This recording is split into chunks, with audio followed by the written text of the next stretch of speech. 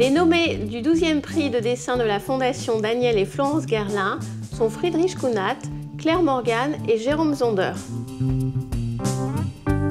Friedrich Kunat est un artiste qui est né en 1974 en Allemagne de l'Est et dont le travail est intimement lié à la biographie.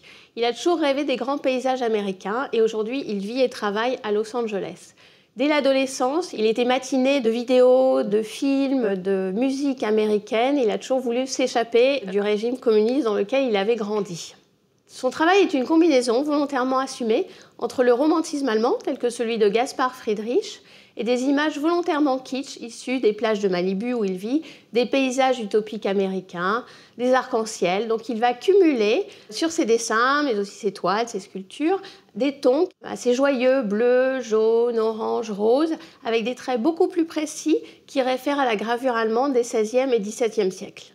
Malgré ce rendu qui est assez joyeux et spontané, Friedrich Kuhnart développe des thèmes très profonds tels que la vie, la mort, l'abandon, la perte. C'est un grand lecteur de Nietzsche. C'est aussi quelqu'un qui analyse comment on perçoit les thèmes existentialistes à Berlin-Est ou sur les plages de Santa Monica et qui revient sans cesse sur des questions existentielles.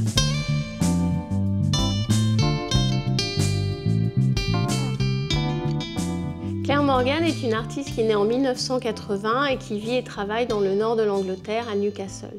C'est une artiste qui vit à la campagne et dont la thématique de travail est totalement ancrée dans ses questionnements entre nature et culture. Claire Morgan met en scène des animaux, que ce soit dans ses installations, ses sculptures, ses peintures ou ses dessins. Son travail témoigne d'une certaine dichotomie, dans le sens qu'elle veut représenter le mouvement de l'animal, sa vivacité, et en même temps est fascinée par les mathématiques et les sciences, et produit de nombreuses œuvres avec des figures géométriques telles que le carré et le rectangle. Même si elle ne le laisse pas paraître, le travail de Claire Morgan est aussi engagé écologiquement et politiquement. Elle veut montrer que l'homme laisse sa trace et son empreinte un peu partout.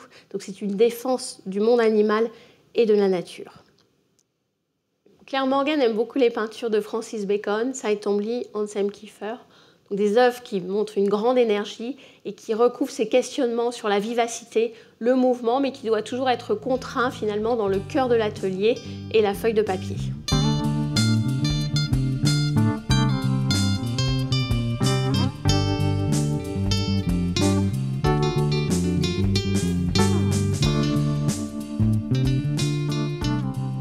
Jérôme Zonder est né en 1974 et il vit et travaille à Paris. Jérôme Zonder est ce type d'artiste qui a toujours travaillé le dessin de manière quasi obsessionnelle. Il a fait ses études aux Beaux-Arts de Paris. Il est connu pour sa grande virtuosité. À ses débuts de carrière, il interrogeait l'histoire, la grande histoire, et s'est notamment focalisé sur la Seconde Guerre mondiale comme paroxysme de l'horreur. Il a ensuite fait une résidence à Leipzig, a pris plus de distance, et depuis quelques années, il retrace la vie qu'il a inventée de trois personnages, une fille et deux garçons qui croquent depuis l'enfance jusqu'à l'adolescence et maintenant l'âge adulte et qui lui permettent d'expérimenter davantage les problématiques de son époque. Jérôme Zonder expérimente deux pratiques du dessin qui sont d'un côté le trait, le tracé, la délimitation, donc la définition même du médium, mais aussi de plus en plus le collage, le fondu et la représentation d'espaces mouvants. Il est très important pour Jérôme Zonder que le spectateur se trouve confronté à son dessin.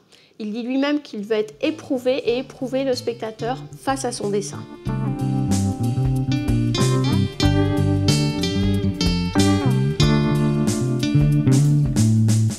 Le lauréat du 12e prix de dessin de la Fondation Daniel et Florence Gerlin sera annoncé le 28 mars lors du Salon du dessin à Paris.